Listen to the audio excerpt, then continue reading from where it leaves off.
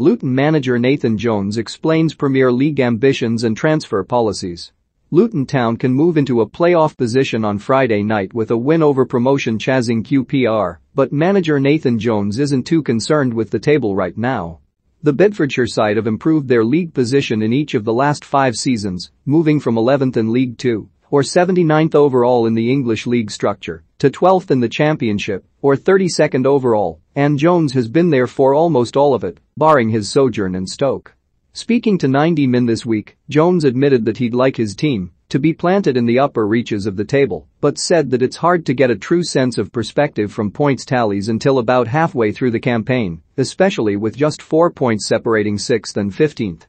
Recently relegated Bournemouth, Fulham, and West Brom have all made strong starts to the season, however, Jones insisted there is not a mini-league at the top of the table between the league's elite clubs. Neither of the top two have had a bad spell yet, and they will. Very few run away with the championship, he said financially we can't compete, it's impossible at this point, but we can't see those games as a free hit.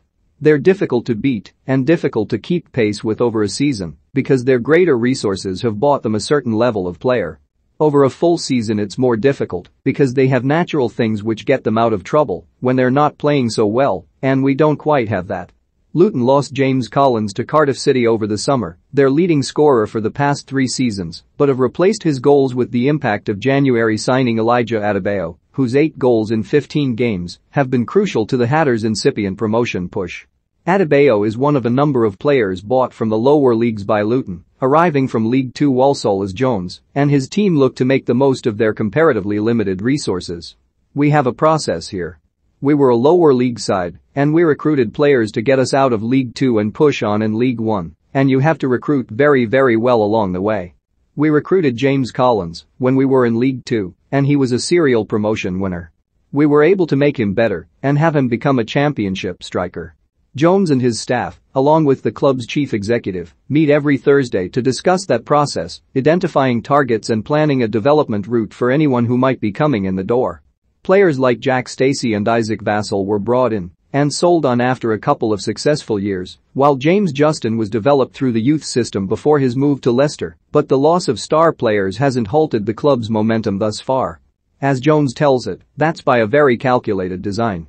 We know as we go through the leagues that we're not going to be the biggest spenders, but our recruitment processes are really good.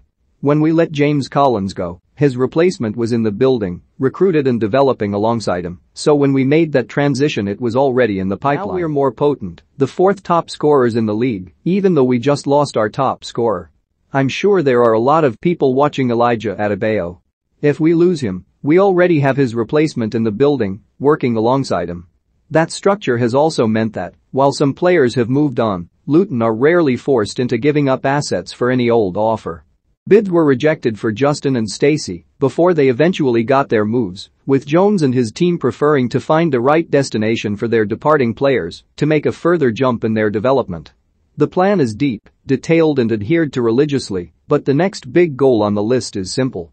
Go into the new stadium at the start of 2024-25 as a Premier League club.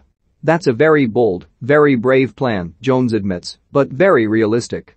It's not because of our budget, Fulham's budget is more than 10 times ours, but it's about the work that's ongoing, the recruitment, the belief we have.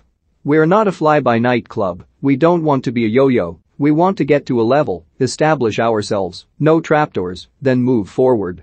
Not too many clubs have made it to the top flight without splashing at least a bit of cash in recent years, but Luton remain content to spend within their means for the time being by being clear about what they want. Every player is meant to be the complete package, but there's one non-negotiable. Echoing Wolves technical director Scott Sellars' words at last week's Premier Sports conference, Jones insisted that every player in the door has to be a good human being with no character flaws. The intention for this season was to be more front-footed and athletic, and plans were put in place at the start of the year. We needed to add a certain level of athlete and a certain level of player. We managed to do that, as Jones put it. We can't get that certain level of athlete and certain level of player who are automatic championship players because they're out of our budget, so if we want pace, athleticism, talent, and someone who creates something then we'd want to go and sign Arnaut Danjuma. Well he's 20 million pounds, we can't afford that. What we do is, with the greatest of respect, we sign Carlos Mendes Gomes and Fred Onyedinma, who are not at the level of Danjuma yet, but have that pace and power that he does, and we'll give it structure. Luton face QPR on Friday night, live on Sky Sports Football. For more from Chris Deely, follow him on Twitter at, at THATCHRIS1209.